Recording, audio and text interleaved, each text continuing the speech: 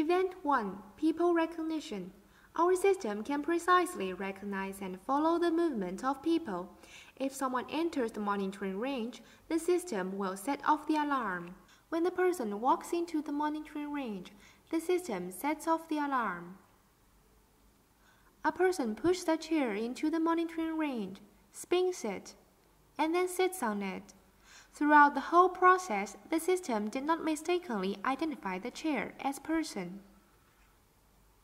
Our system can precisely distinguish two persons who are close to each other.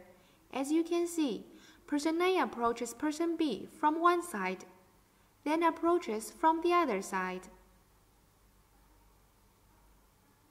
and then walks to the front and the side of person B. During the whole process, the system can distinguish two persons. Event 2 Crossing the tripwire. Firstly, use the configuration tool to draw a tripwire and the designated direction of entry that should set off an alarm. When someone crosses a line from the designated direction, it sets off the alarm. With 2D recognition method, crosswire detection is based on the pixel change of the line. As you can see, when the person moves on one side of the guard line, his body will block part of the line. With 2D recognition method, this condition will trigger the alarm. However, our system adopts the 3D vision recognition method. Therefore, this kind of false alarm won't happen. When the person crosses the tripwire, it sets off the alarm immediately. If the person crosses the tripwire with one leg and pulls back, it still sets off the alarm. When the person runs across the tripwire, the alarm goes off. Event 3 Invading an area. Firstly, use the configuration tool to set the designated area. If someone enters this area, the system will set off the alarm. With 2D recognition method, intrusion detection is based on the change of pixels. When the person only moves around the designated area, as you can see, part of his body is already in the area from the view of 2D image. So this condition will trigger the alarm.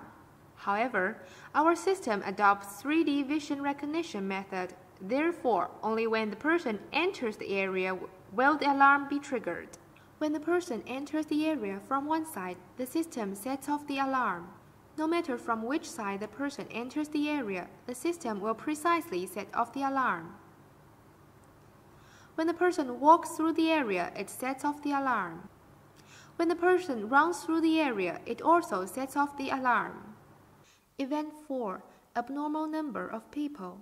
Firstly, use the configuration tool to set the designated area, then set the allowed range of people within the area.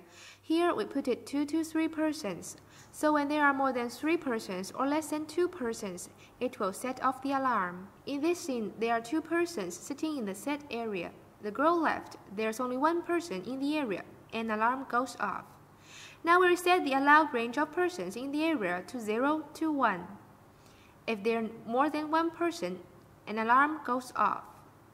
Now, there's no one in the area, which is normal. Then a person walks in, no alarm is triggered.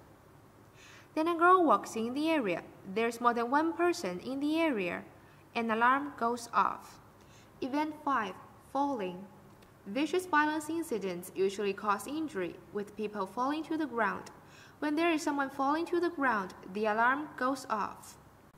If the person falls down horizontally, the alarm goes off. If the person falls down vertically, the alarm goes off. If the person falls down along the table, the alarm goes off. Besides the single person scene, the alarm is set off precisely when there are several persons. If the person falls down in the crowd, the alarm rings. Event 6 Moving too fast. In many vicious events, such as robbery and terrorist attack, you'll find people running really fast.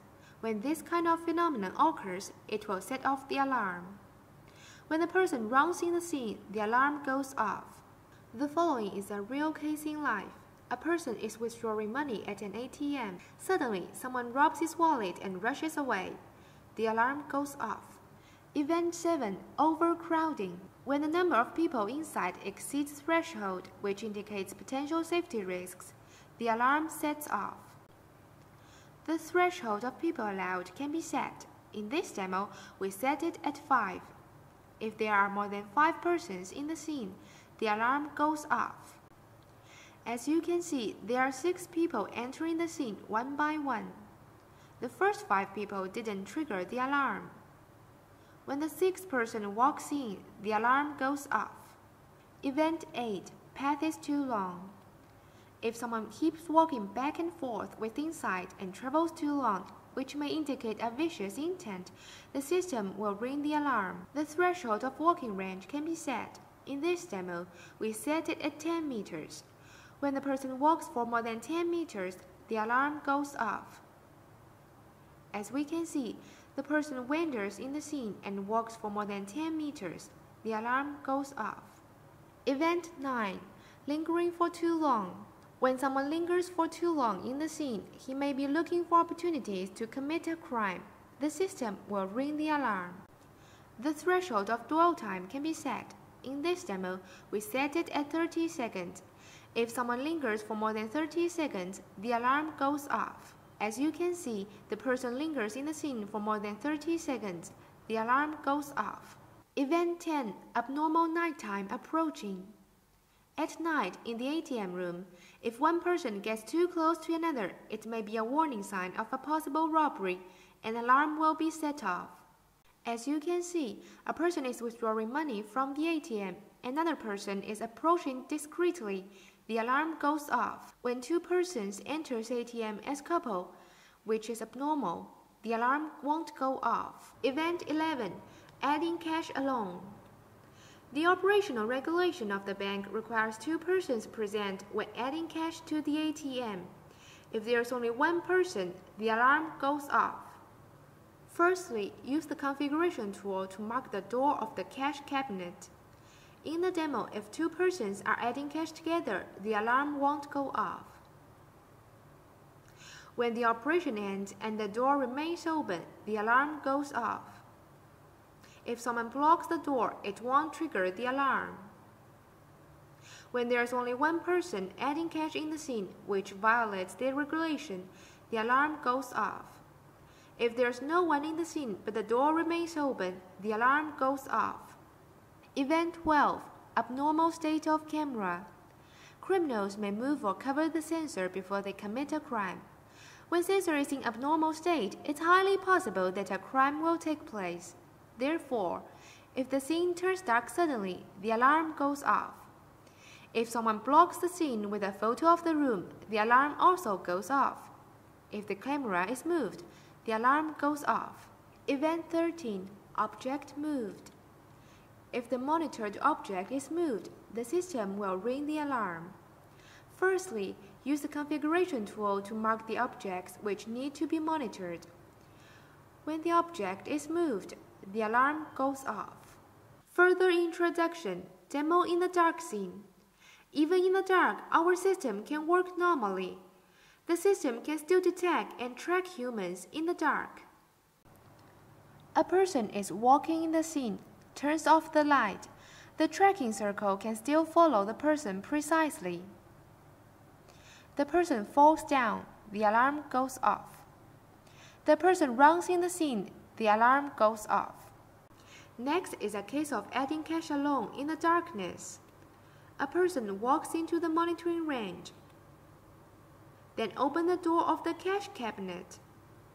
The alarm goes off.